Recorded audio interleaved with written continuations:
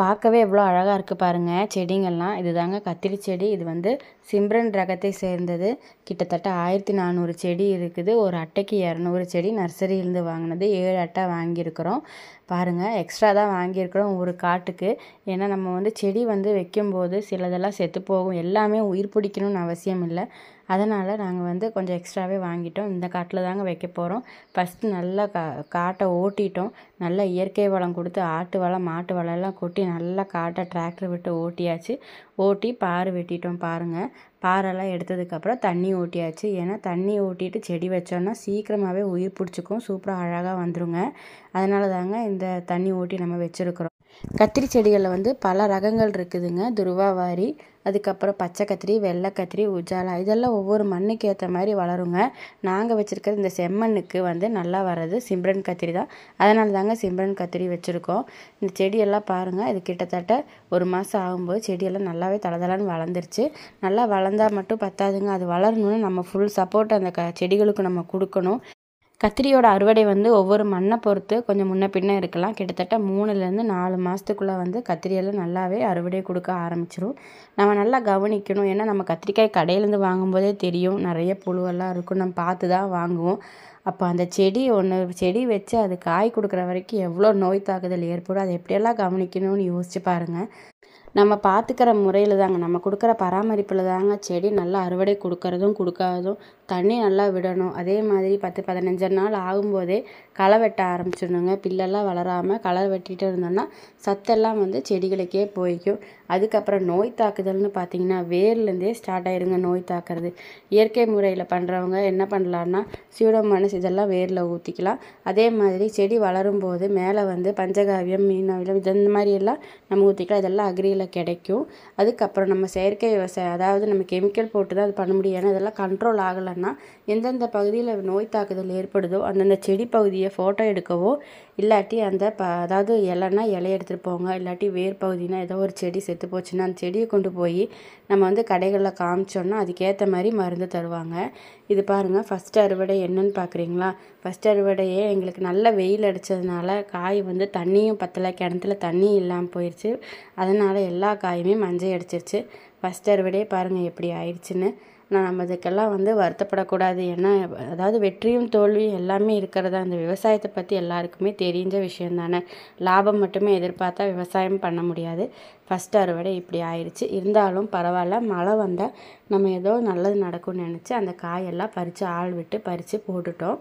பாருங்கள் எல்லாம் பறித்து அடுத்தது மழை வரும்போது நல்ல காய் கிடைக்கட்டும்னு பறித்து விட்டுட்டோம் பாருங்கள் பார்த்தீங்கன்னா அதே அதே வாரத்தில் நல்ல மழை பெஞ்சது புது பூ வந்தது நல்ல காயும் வந்துச்சு.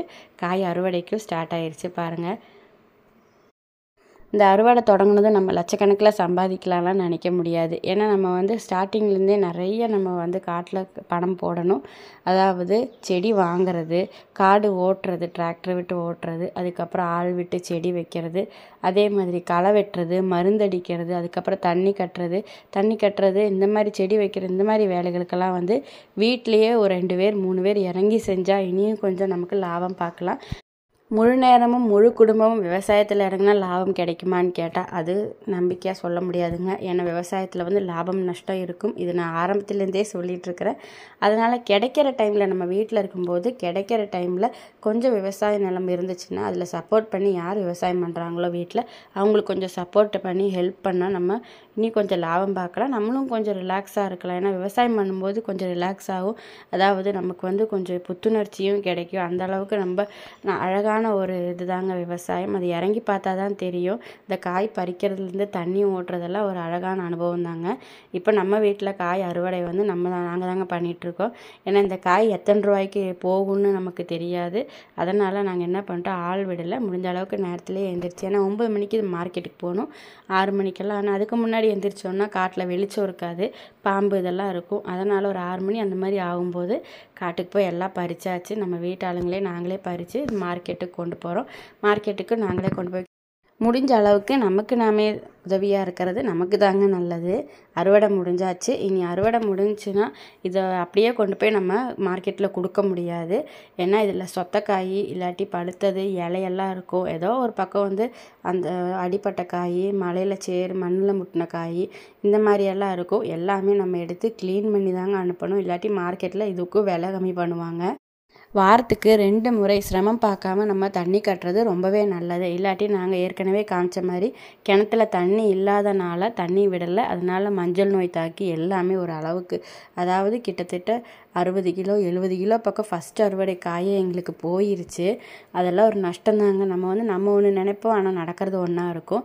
அதுக்கப்புறம் அந்த அழுகுன காய் இதெல்லாம் பறித்து ஏன்னா பக்கத்தில் இருக்கிற இனி வரப்போகிற பூவெல்லாம் நல்லா வரணும்னா அந்த மாதிரி பண்ணி தாங்க ஆகணும்.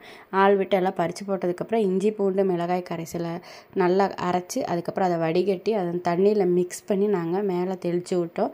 அதுக்கப்புறம் மழையும் வந்துருச்சு. ஓரளவுக்கு காய்ங்கெல்லாம் நல்லா அறுவடை கொடுக்க ஆரம்பிச்சிது. கிட்டத்தட்ட இருபது ரூபா இருபத்தி ரெண்டு ரூபா இந்த மாதிரி போச்சுங்க காய். அதே மாதிரி நாற்பது கிலோ ஐம்பது கிலோ பக்கம் கிடச்சிது ஒரு ஒரு கெடுக்கு. இதுலேயும் வந்து நிறைய வேஸ்ட்டு கிடச்சிது. இந்த வேஸ்ட்டுன்னு பார்த்தீங்கன்னா ரொம்ப சொத்தையெல்லாம் இருந்தால் புழு நிறைய இருந்தால் அது வந்து நம்ம ஒன்றுமே பண்ண முடியாது. வீசத்தான் வேணும். ஏன்னா ஆட்டுக்கு மாட்டுக்கெல்லாம் போடும்போது அதுங்களுக்கு வயிறு வலிக்கும். அதுங்க ஒரு உயிர் தானே. அதனால் அதுங்களுக்கும் போட மாட்டோம். ஒரு ஒரு சொத்தையெல்லாம் இருந்தால் நாங்கள் வீட்டுக்கு எடுத்துக்குவோம். ஒரு பக்கம் அப்படியே கட் பண்ணி போட்டோன்னா மீதி நம்ம குழம்புலலாம் போட்டுக்கலாம் வறுத்து சாப்பிட்டுக்கலாம் நல்லா தான் இருக்கும். பாருங்கள் காய் எவ்வளோ அழகாக இருக்குன்னு. பார்க்கவே சூப்பராக இருக்குது இந்த சூப்பரான காய் வர்றதுக்கு எவ்வளோ வேலைகள் நடந்துச்சுன்னு நீங்களே பார்த்தீங்கல்ல.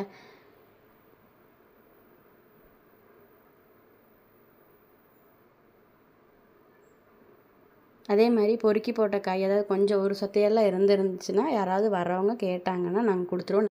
வேஸ்ட் ஆகாமல் அதாவது ஒரு கத்திரிக்காயில் ரெண்டு பீஸ் கிடைச்சாலே பெரிய விஷயந்தாங்க ஏன்னா நம்ம வந்து காசு கொடுத்து வாங்குறதுக்கு இப்படி வீசுறதை எடுத்து யூஸ் பண்ணோன்னா அதுவும் இல்லாமல் டேஸ்ட்டாக தாங்க இருக்கும். காயெல்லாம் அந்த மாதிரி சாப்பிட்டு பார்த்தா தான் தெரியும். இங்கே பாருங்கள் சாக்கு போட்டாச்சு. இதில் வந்து இலையெல்லாம் ஒன்றும் வைக்க தேவையில்லை. ஏன்னா பத்து நிமிஷத்தில் மார்க்கெட்டுக்கு போயிடலாம். அதனால் இலையெல்லாம் ஒன்றும் வைக்கலைங்க. டைமும் ஆயிடுச்சு கொஞ்சம் லாங்கில் போகிற மாதிரி இருந்துச்சுன்னா லேட் ஆச்சுன்னா லாங்கில் போவோம். லாங்கில் போகிற மாதிரி இருந்தால் நல்லா தேக்கலையெல்லாம் எடுத்து நல்லா கவர் பண்ணி ஏன்னா கா இது காய் வந்து வெம்பி போன மாதிரி ஆகக்கூடாதுல்ல. அதனால் நாங்கள் தேக்கிலையெல்லாம் வச்சு கவர் பண்ணிக்குவோம். இல்லாட்டி காயெல்லாம் வெம்பி போன மாதிரி இருந்தால் பழைய காயின்னெல்லாம் சொல்லி நமக்கு ரேட் அதுலேயும் கொஞ்சம் கம்மியாயிரும். இவ்வளோ கஷ்டப்பட்டு சின்ன சின்ன விஷயங்களை போய் பார்க்காம விட்டோம்னா நமக்கு வந்து நஷ்டத்தில் தான் முடியும். அப்போ நம்ம பார்க்கும் பார்க்குற ஒரு வேலையும் வந்து நம்ம கவனமாக பார்த்தோன்னா கொஞ்சமாவது லாபம் பார்க்கலாம். லாபம் பார்க்காட்டியும் நஷ்டத்தில் போய் முடியாமல் பார்க்கலாம்.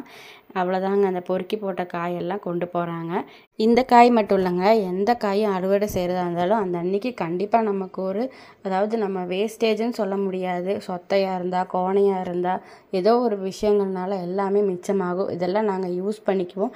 யூஸ் பண்ணுறதுனால ஒரு கொ தப்பு இல்லைங்க ஏன்னா நம்ம கடையில் வாங்கும்போது எல்லாமே நல்லா கிடைக்கணும்னு அவசியம் இல்லை. நமக்கு நம்ம விளைவிச்சு சாப்பிட்றது நமக்கு க கொடுத்து வச்சது தானுங்க அதனால் எதுவுமே வேஸ்ட் பண்ண மாட்டோம். வேஸ்ட் பண்ணாமல் இருக்கிறது ரொம்பவே நல்லது. ஓகே ஃப்ரெண்ட்ஸ் இந்த வீடியோ உங்களுக்கு பிடிச்சிருக்கும்னு நினைக்கிறோம். பிடிச்சிருந்தா லைக் பண்ணுங்கள் ஷேர் பண்ணுங்கள் மறக்காமல் சப்ஸ்கிரைப் பண்ணுங்கள் இந்த வீடியோ ஃபுல்லாக பார்த்ததுக்கு ரொம்ப நன்றி. தேங்க்யூ